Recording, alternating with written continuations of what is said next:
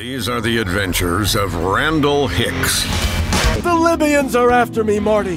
Libyan terrorists. Libyans? Wow, this is heavy, Doc. There's no time to waste. Here, take this. Uh, wait a second, buddy. Uh, is this what I think it is? If you're thinking plutonium, yes, it is. Man, are you crazy? I was just playing along because it was kind of funny, but I'm not gonna carry that around, you damn lunatic. You don't understand. It's your kids, Marty. Something has got to be done about your kids. Randal's Monday.